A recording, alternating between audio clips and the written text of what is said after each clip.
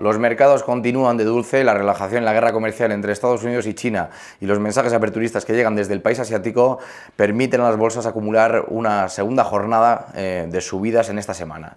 Los mercados europeos están repuntando de medio un 0,8%, destaca la subida de un 1% del FTSE británico y por su parte en Asia cerraba con subidas después de los mensajes que llegaban por parte del presidente chino. Aquí en España el IBEX 35 está repuntando cerca de un 0,3% y le permite acercarse a los niveles de los 9 9.800 puntos.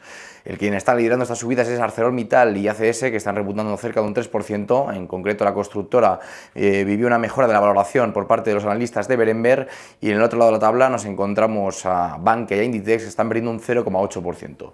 Habrá que estar atentos a cómo abre Wall Street después de su subida de ayer y que los futuros apunten a una jornada de subidas.